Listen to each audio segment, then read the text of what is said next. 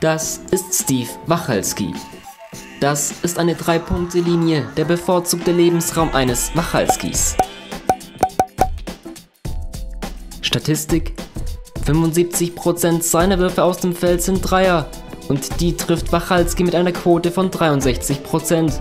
Kein Spieler der BBL vereint Treffsicherheit von Downtown und Dreiervolumen so stark wie Wachalski.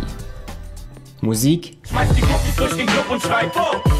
Wachalski wirft sich mit Fuffis in den Club, denn er trifft über 50% seiner Feldwürfe sowie mehr als 40% seiner Dreier und 90% seiner Freiwürfe.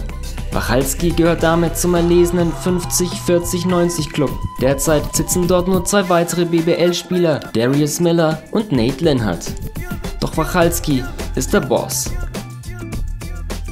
Das ist der Telekom Dome. Dort findet der All-Star Day 2017 statt, samt Dreierwettbewerb. Steve Wachalski ist derzeit der beste Dreierschütze der Liga. Doch sehen wir ihn wirklich in Bonn? Musik Es waren 6 Meter. 75